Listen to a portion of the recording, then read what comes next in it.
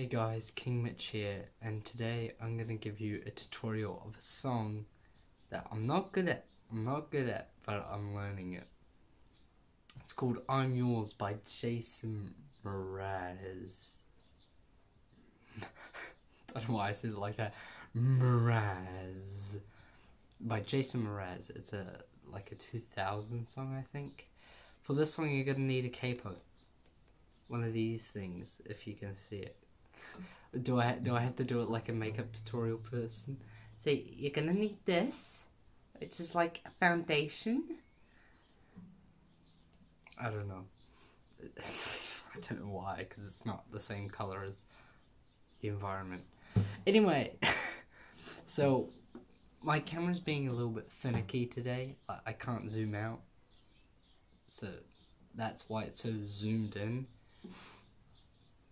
So I'm gonna have to have my guitar like this, but it, it will work. I'll make it work. Okay. So you're gonna put the capo on the fourth fret, so about here, this fourth fret. So you're just gonna stick it on there. Nice. Now I'm just gonna do a run through, and then I'll teach you. It's only the intro. It's not the chords. I don't know the chords. I'm sorry. Uh, plus, I only do intros to songs because that's the only good part. Like the intro or the riff. I only like those parts of songs. I don't like melody or chords. I know. I'm. Uh, it's um. What's the word? I was gonna say patronizing, hypocritical. No. What's the word when you, you you need to do stuff but you don't? Procrastinating. That's the word. Cat. What do you want? okay. Anyway, I'm getting distracted, so I'll just go through one for and then I'll start teaching you. So.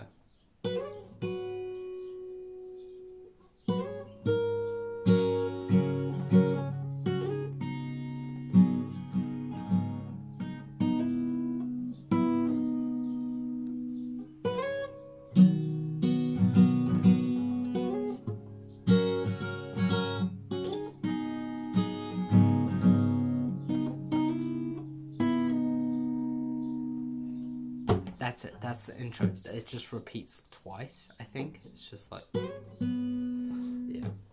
And I know my I I could see in the corner of my eye my guitar was going up and down. So maybe this. That's better. There we go. So first you're gonna start with these two fingers. The the I don't want to show my face. These two fingers. Yeah, you can see where I've been playing on my fingers. So you're gonna grab your pinky and your ring finger, and you're gonna put them on. So pinky goes sixth string, third fret, and then this the ring finger goes third fret, fifth string. So it's like that.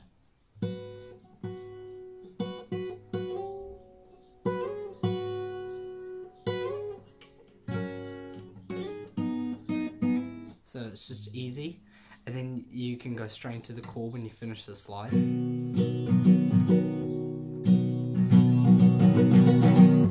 So yeah, it's just easier. So.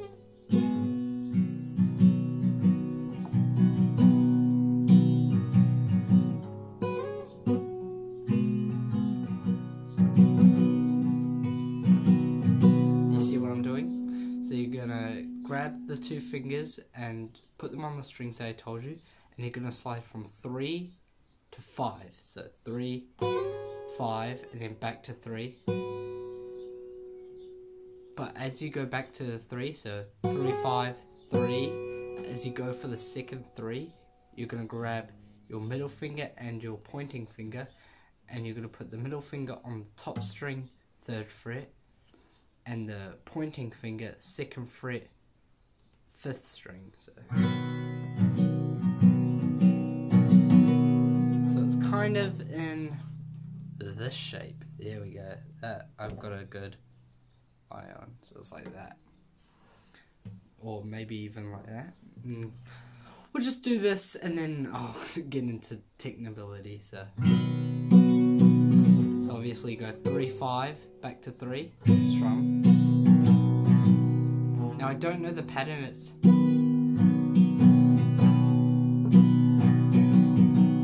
down up down down down down. It's just a generic strumming. You can do it in any pattern, I guess, but it wouldn't sound good. So yeah, obviously, oh, I'm pushing down really hard.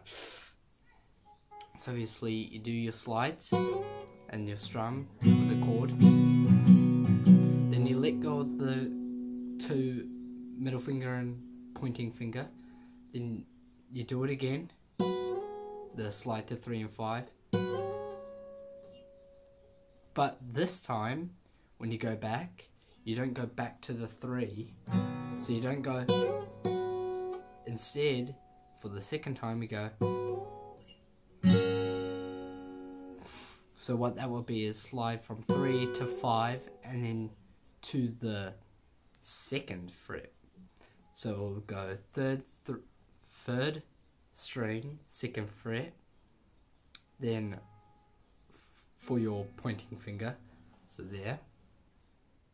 Then middle finger will go six, first string, second fret, like that. And then your ring finger will go third fret, second, um, second string. So it makes this shape. There you go, you can see that. That's perfect. So it makes like a M or a W. So obviously you have your first part. Second part. Part.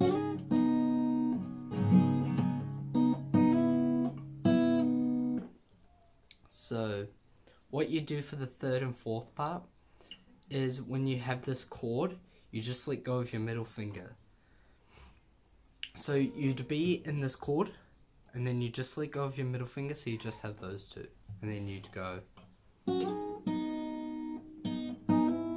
So that you would slide both fingers from second and third fret, second and third fret.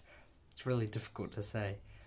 To the fourth and fifth. So you'd slide from two to three to four and five. And then you let go. So. But at the same time, when you let go, you pluck. So,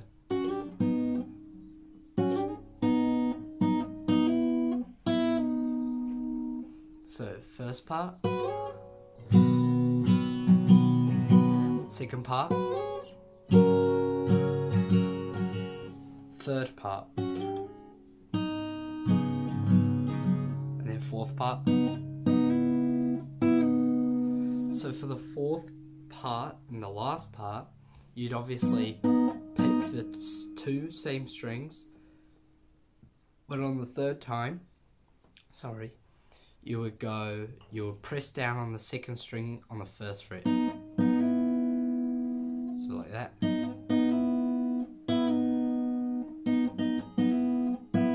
So obviously you go. That was stupid.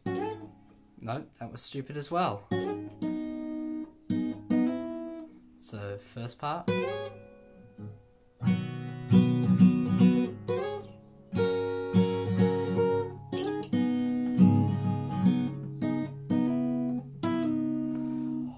Know it's confusing. It's me. I I'm the problem as always. um, I'm the problem. It's really confusing for me to explain because as I'm new to the guitar, if it was on piano, I bet I'd be mint. but this is just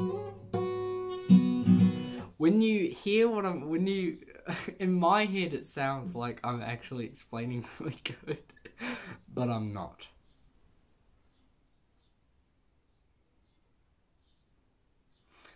But yeah, that's what I'm trying to get at. So obviously, first part, if I can get the thing in the right position, I'm not gonna do the chord strumming. I'm just gonna This is the easy part. You just get rid of the strumming and the chords. So.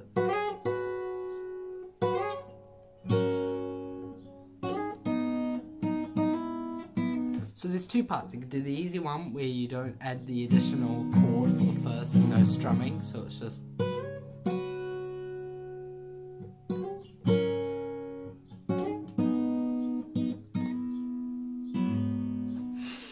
Or the hard part, which is what I was teaching you, which I shouldn't have, uh, due to my skills of talking. Um,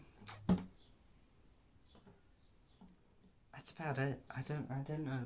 I don't know what else to tell you. Really, you you just learned it and you got it down. So.